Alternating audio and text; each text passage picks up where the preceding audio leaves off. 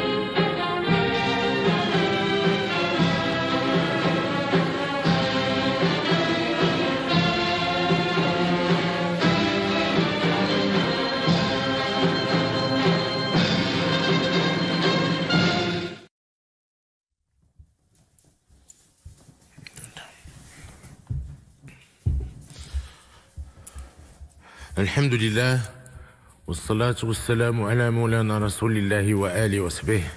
شعبي العزيز. إن تقليد ذكرى ثورة الملك والشعب هي خير مناسبة لاستحضار قيم التضحية والوفاء في سبيل حرية الوطن واستقلاله. وهي ليست فقط حدثا تاريخي وإنما ثورة مستمرة تلهم الأجيال المتعاقبة بنفس روح الوطنية الحقة للدفاع عن الوطن ومؤسساته ومقدساته. كما تأتي قبل أيام من الانتخابات المقبلة تتزامن مع وتتزامن مع مرحلة جديدة من المشاريع والإصلاحات في إطار تنزيل النموذج التنموي وتفعيل الميثاق الوطني من أجل التنمية. وتتميز هذه الاستحقاقات بإجراء الانتخابات التشريعية والجهوية والمحلية في نفس الوقت في نفس اليوم.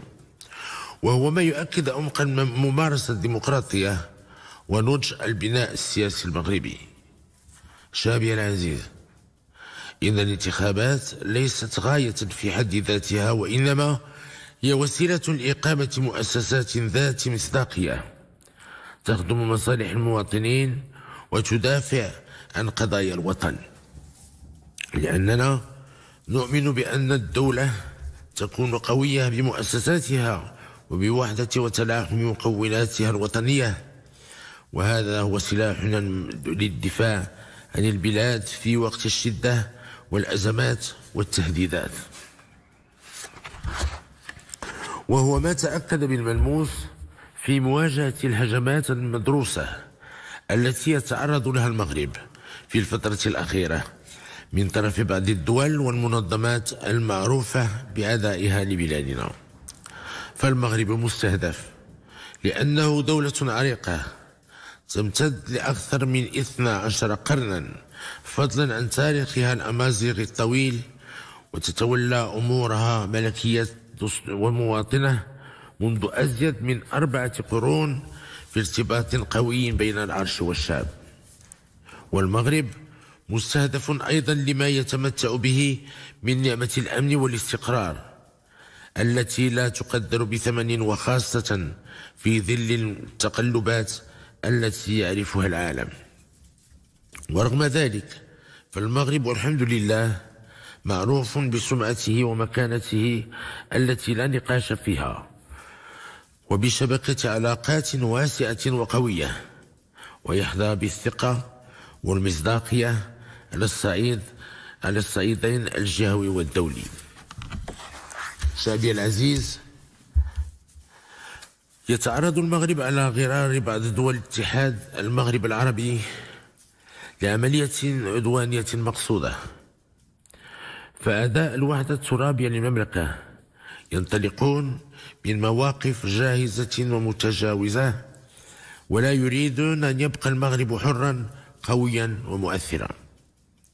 وقليل من الدول خاصة الأوروبية التي تعد للأسف من الشركاء التقليديين تخاف على مصالحها الاقتصادية وعلى أسواقها ومراكز نفوذها بالمنطقة المغاربية. كما أن بعض قياداتها لم لم تستوعب بأن كما أن بعض قيادتها لم يستوعبوا بأن المشكل ليس في أنظمة بلدان المغرب العربي وإنما في أنظمتهم التي تعيش على الماضي ولا يستطيع أن تساير التطورات. وقد أبانت الشهور الأخيرة أن هذه الدول تعرف ضعفا كبيرا في احترام مؤسسات الدولة ومهامها التقليدية الأساسية. لذلك يريدون أن نصبح مثلهم. من خلال خلق مبررات لا أساس لها من الصحة. واتهام مؤسساتنا الوطنية بعدم احترام الحقوق والحريات لتشويه سمعتها ومحاولة المس بما تتميز به من هيبة ووقار.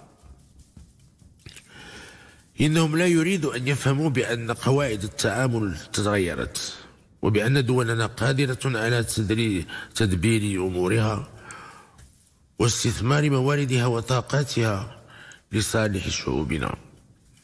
لذا تم تجنيد كل وسائل الممكنة الشرعية وغير الشرعية وتوزيع الأدوار واستعمال وسائل تأثير ضخمة لتوريط المغرب في مشاكل وخلافات مع بعض الدول. بل هناك تقارير تجاوزت كل الحدود فبدل أن تدعو إلى دعم جهود المغرب في توازن بين دول المنطقة قدمت تصويرات بعرقلة مسيرته التنموية بدعوى أنها تخلق اختلالا بين البلدان المغاربية كما دبروا حملة واسعة لتشويه صورة مؤسساتنا الأمنية ومحاولة تأثير عن قواتها وفعاليتها في الحفاظ على أمن واستقرار المغرب إضافة إلى الدعم والتنسيق الذي تقوم به في محيطنا الإقليمي والدولي باعتراف بإعتراف عدد من الدول نفسها. ورب دارة نافعة. فمؤامرات أداء وحدتنا الترابية لا تزيد المغرب إلا إيمانا وإصرارا على مواصلة الدفاع عن وطنهم ومصالحه العليا. وهنا نؤكد بأننا سنواصل مسارنا أحب من أحب وكره من كره. رغم إنزاء رغم انزعاج الأداء وحسد الحاقدين. شعبي العزيز هناك من يقول بأن المغرب يتعرض لهذه الهجمات بسبب تغيير توجهه السياسي والاستراتيجي وطريقة تعامله مع بعض القضايا الدبلوماسية في نفس الوقت. هذا غير صحيح. المغرب تغير فعلا ولكن ليس كما يريدون. لأنه, لأنه لا يقبل أن يتم المس بمصالحه العليا. وفي نفس الوقت يحرص على إقامة علاقات قوية بناءة ومتوازنة خاصة مع دول الجوار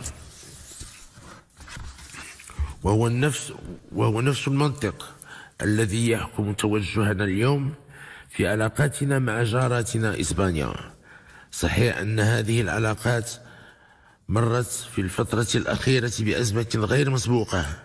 هزت بشكل قوي الثقة المتبادلة وطرحت تساؤلات كثيرة حول مسارها.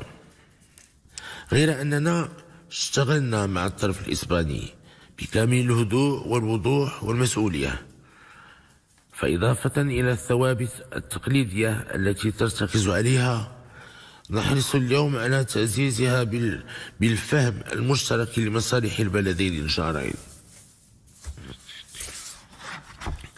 وقد تابعت شخصيا وبشكل مباشر سير الحوار وتطور المفاوضات. ولم يكن هدفنا هو الخروج من هذه الأزمة فقط وإنما أن نجعل منها فرصة لإعادة النظر في الأسس والمحددات التي تحكم هذه العلاقات. وإننا نتصدى بكل صدق وتفاؤل لمواصلة العمل مع الشركاء مع الحكام الحكومة الإسبانية ومع رئيسها معالي السيد بيدرو سانشيز من أجل تدشين مرحلة جديدة وغير مسبوقة في العلاقات بين البلدين على أساس الثقة والشفافية والاحترام المتبادل والوفاء بالالتزامات. وهو نفس الالتزام الذي تقوم عليه علاقات الشراكة والتضامن بين المغرب وفرنسا التي تجمعني برئيسها فقامت السيد إيمانويل ماكرون روابط متينة متينة من الصداقة والتقدير المتبادل. شابي العزيز إذا كانت ثورة الملك والشاب قد شكلت منعطفا تاريخي في طريق حرية المغرب واستقلاله. فإننا اليوم أمام مرحلة جديدة تتطلب الالتزام بروح الوطنية الحقة لرفع التحديات الداخلية والخارجية. ونغتنم هذه المناسبة لنترحم على أرواح على أرواح شهداء الوطن الأبرار وفي مقدمتهم بطل التحرير جدنا المقدس جلالة الملك محمد الخامس ورفيقه في الكفاح والدنا المنعم جلالة الملك الحسن الثاني. طيب الله ثراهما والسلام عليكم ورحمة الله تعالى وبركاته.